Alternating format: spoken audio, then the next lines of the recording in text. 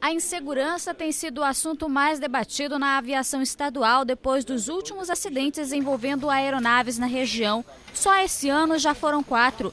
O último vitimou o deputado estadual Alessandro Novelino, o assessor e o piloto.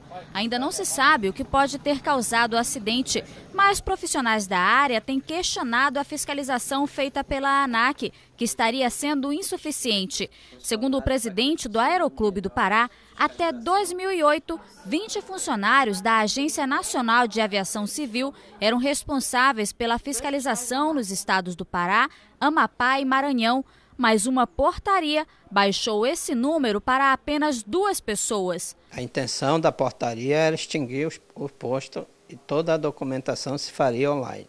Você acredita que se é, houvesse um número maior de funcionários, essa fiscalização sendo mais efetiva também, os acidentes eles seriam menores?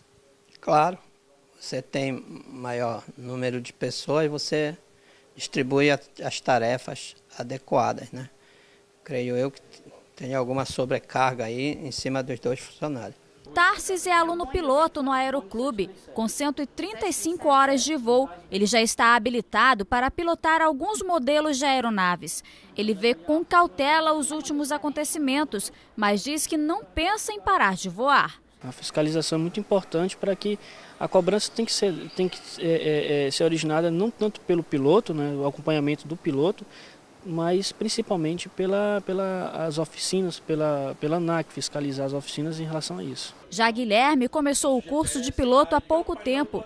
Preocupado, ele diz que cabe à categoria cobrar por melhorias no sistema de segurança. Cobrar bastante aí da ANAC aí a nossa segurança, né, as fiscalizações nas oficinas, também ficar em cima também da aeronave, a gente como piloto está voando, tá, qualquer coisa que a gente sentir está reportando também, não ir só pelo patrão, mas ir também pela nossa segurança também, daqueles que estão embaixo também. E a gente tem que ter uma resposta da própria ANAC em relação a essa situação.